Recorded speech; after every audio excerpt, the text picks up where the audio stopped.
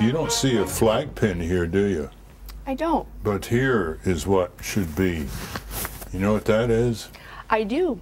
That is What the is that? Constitution of the United States. And don't you think we should take care of it? We should, and we have been. But, you know who's going to really take care of it? John S. McCain. That means if he becomes president, he'll move to, to criminally prosecute George W. Bush and Dick Cheney on about 15 criminal counts no, criminal war in Iraq, systemic torture, incarcerating Americans without uh, charges, denying them habeas corpus, snooping on millions of Americans without uh, court approval, and signing hundreds of bills saying, I, King George IV, will decide whether to sign them or not, or whether to obey them, rather, or not. Well, Has John McCain got the guts to do that?